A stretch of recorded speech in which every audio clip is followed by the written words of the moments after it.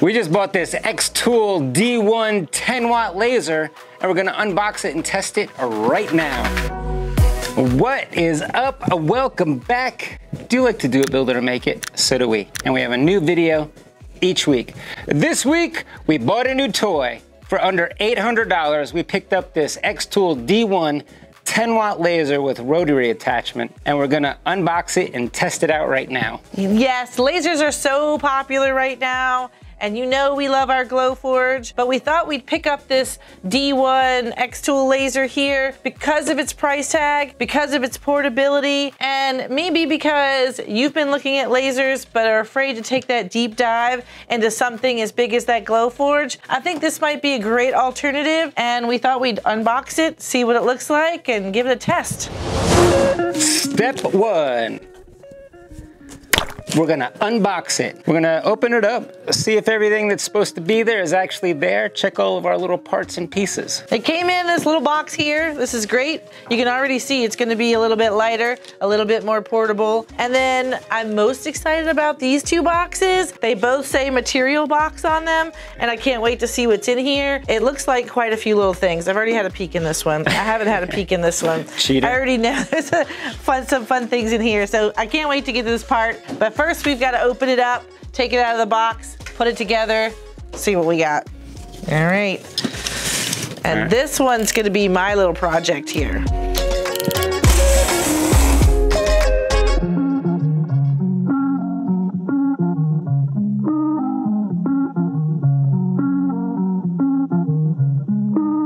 Step two, it's time to assemble it. Looks like everything is here, everything is packaged well, and uh, we even have some eye protection.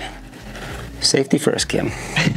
I've already had the book out and it literally tells you to go and watch the tutorial video on assembly. So we've got that pulled up in front of us and we're gonna pull the pieces out and start to assemble it. The X-Tool is a diode laser, not a CO2 laser like the Glowforge. The difference between a diode laser and a CO2 laser is that a diode laser uses a crystal to create a beam, where the CO2 laser uses a laser tube filled with gas and electricity to create the beam. Because it's only using a crystal, the diode laser is smaller and more portable takes up much less space, and you can pick it up and set it on things. Where the CO2 laser is much bigger and has to be more stationary, and you have to be very careful with the CO2 laser so that you don't damage that laser tube. The cutting area of the Xtool D1 here is 16 inches by 17 inches, which is a very large cutting area for a diode laser. It will cut up to 10 millimeter, which is 0.039 inches, which is just over a quarter of an inch. So so it should do most of the materials you'll want to do as a desktop laser. Assembly is complete. I did most of it myself, took about 40 minutes. Step three, we're gonna load the software and pair the machine. We're gonna use LaserBox Basic. It comes from Xtool. You just go out to the Xtool website and you download it. Software install for this laser is super simple. You really only need this cable and the initial setup. We'll connect the USB, install the software, locate our laser on the COM port, and it's really set up and ready to go. We've already tested importing SVGs, PNGs, and JPEGs, and they work great. Step four, time to test. We have a bunch of test materials that we're gonna use to test out the laser. Yeah, so these materials came in the box with the equipment.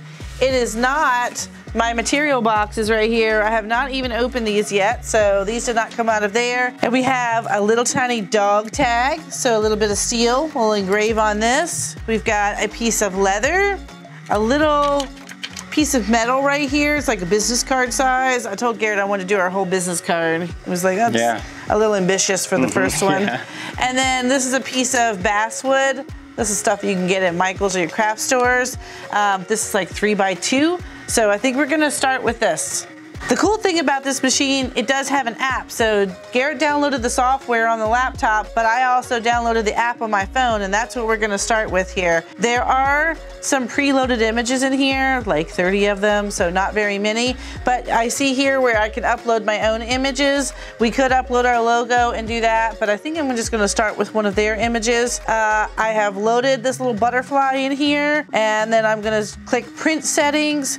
I have chosen my material as basswood, and it already has all of the density, power, and speed preloaded for basswood. I'm gonna hit the little next button and it says move the center of the cross-shaped light beams to the upper left corner. So I'm gonna do that. I'm gonna first focus it. Actually, before I move that, I'm gonna show you how you can focus it here. This is really cool. It has this little foot over here on the side that sits on top of your material. So I would adjust the little lever here, slide this down to the foot's touching, tighten the little knob right here. And then the little foot has a little magnet, so it goes right back in. Now I'm gonna put this in my crosshairs. I'm gonna hit frame.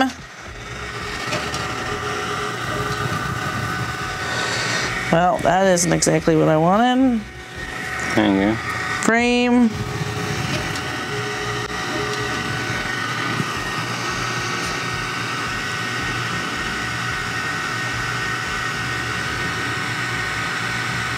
How about that? Yeah, looks good. Well, Pretty good. I want to center it.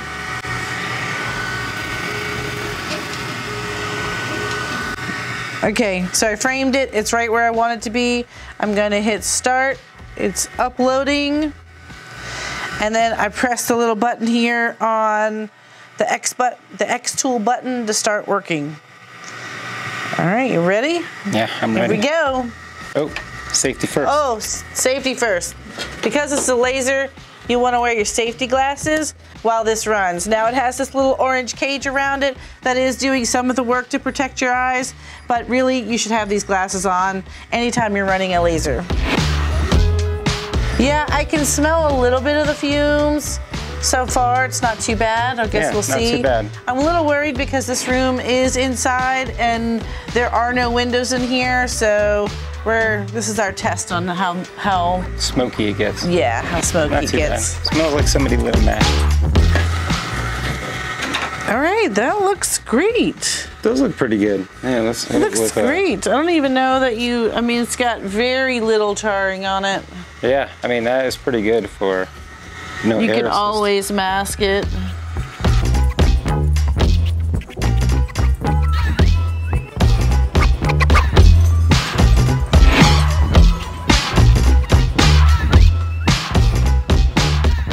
Wow, that came out pretty cool. That looks awesome. Yeah, that came out really cool. Check that out. Yeah, uh, yes. Hopefully they can see. Yes. That one is. Gotta take my shades off to check that out. Oh yeah. Yeah, I really like the look of that. That's gonna make some awesome tumblers. Yeah, that is gonna make some cool tumblers. Yes.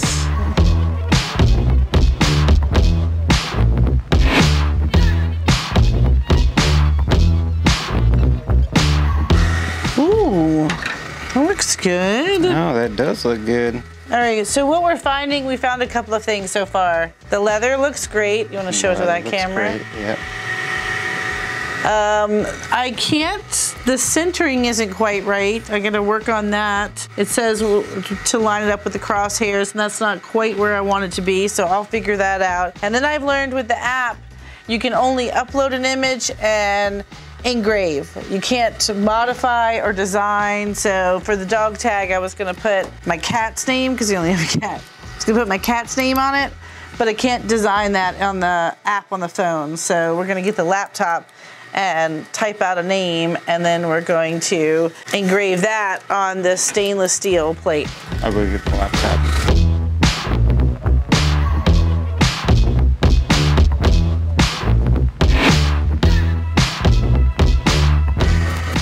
No, I marked it. It's really cool looking. Yeah, it's cool looking. I just thought it would be deeper. Well, and my thing is, I can't get it exactly centered. How am I gonna know? How am I gonna get anything exactly centered? You just gotta kind of learn how the tool centers things. Yeah, but it looks great. Yeah, it looks good. All right, is that everything? So we've done, Well, do you want to try cutting these now? yeah, you wanna try cutting?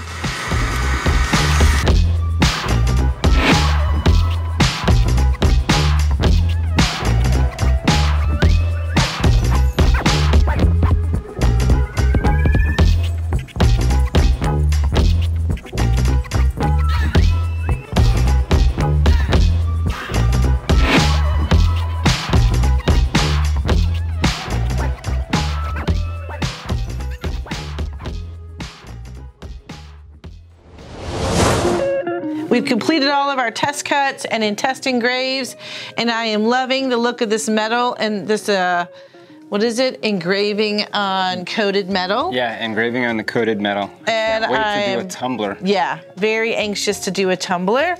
And then it did cut through the basswood, and when we picked the proper settings and the proper thickness, you might need your calipers uh, for this. We were able to cut through beautifully. It engraved beautifully. And then on the stainless steel for the little pet ID tag here, it looks beautiful. Garrett expected it to Go a little deeper. Yes, but I read that it won't on stainless steel. Um, it just marks it. Yeah, it so just kind of marks it. It did. It did a great job marking it. And then uh, we also did this leather, and it did a great job with the leather. I mean, this is a tiny little butterfly, and the detail is still there, and it cut the leather super fast. Yes, I was too. surprised. so what I'm thinking so far, I haven't done much with this yet. There's so much more that I want to do.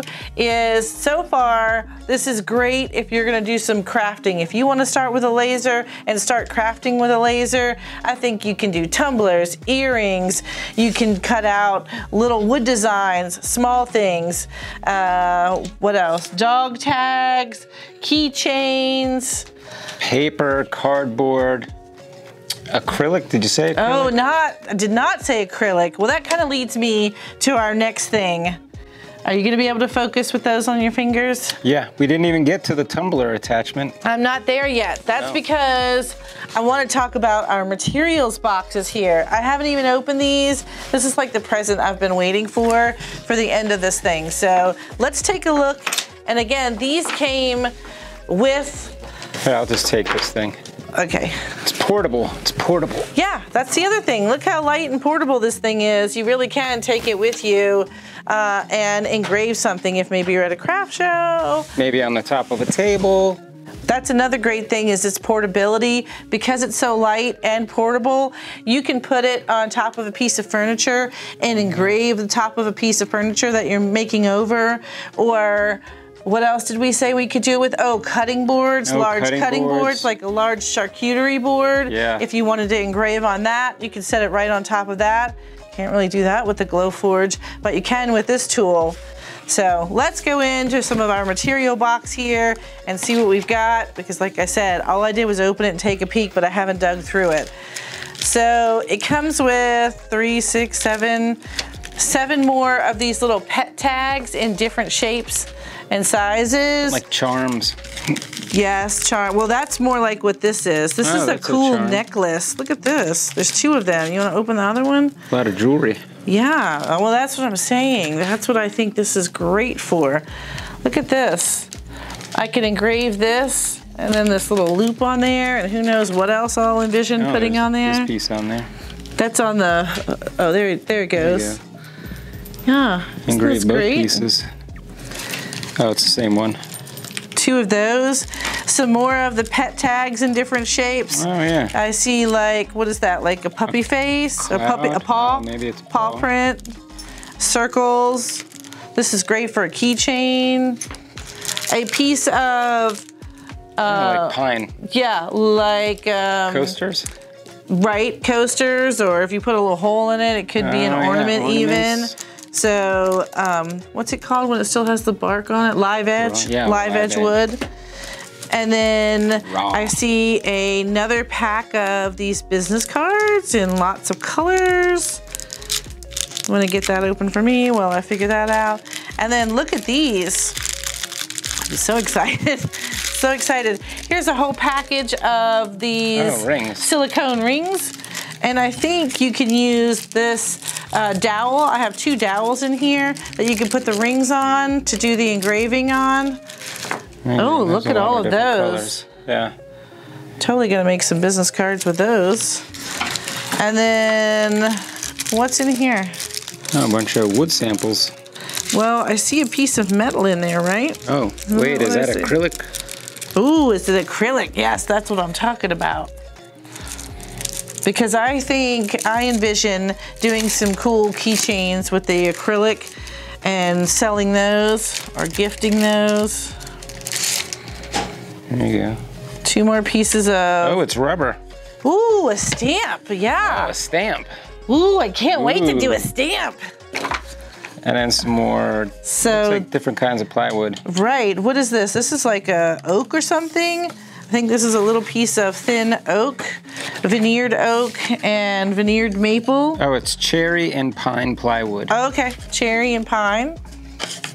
Rubber, silicone rings. Oh, oh.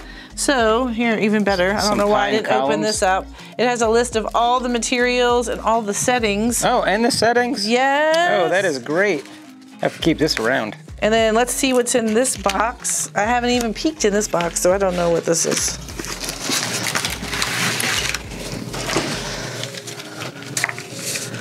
I got you. Ooh, this is Oh, acrylic. Oh, red acrylic. Oh, red See what this is. Ooh, look at this. Interesting. Ooh, do you think you can cut through that? I don't know. Ooh, oh, two Oh, it's sheets. two pieces. Oh, okay. I was like, it's very thick. Look at this. Yeah, very cool. Oh, I'm so excited. Yeah, can't wait to do something with this stuff. Yeah, so I don't think we have enough time in this week's video to use all of these, but we're definitely gonna follow up with next week next week's video and make some projects with all of these materials, make some cool things and really show you what you can, you know, make to sell at craft shows and Actually things like use that. it for in a real world setting. Yes, and one last thing, we haven't even had the opportunity to set up the tumbler attachment here. Uh, it wasn't in the initial setup instructions. Yeah. So if you want to join us over on Patreon, we'll do a Patreon after show where we'll do a test tumbler. Test tumbler. And then um, with the test tumbler, you'll use these little feet. This is another thing we haven't had a chance to do anything with yet. Yeah. But it comes with additional feet so that you can set it up higher to do things like tumblers or, Just um, taller items. yeah, well, like this block of wood or like the silicone rings are gonna have to go Oh, up a little bit higher. So I'm really excited. All right. Well, we are about out of time. So if you're not going to join us on Patreon where we uh, test out the tumbler, we will see you next week where we'll do it, build it, and make it again. I don't have anything to balance. I'll just balance this. Yeah, I'm sure you can balance. just, I can balance the laser. Should I go get the laser? no, please, no.